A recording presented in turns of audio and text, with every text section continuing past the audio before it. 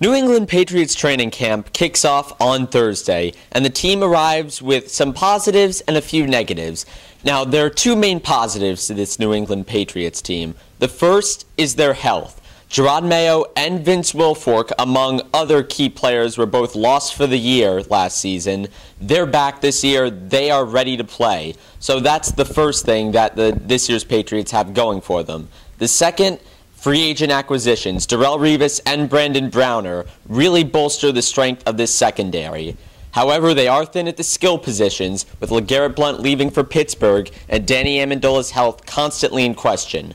Which side will win out?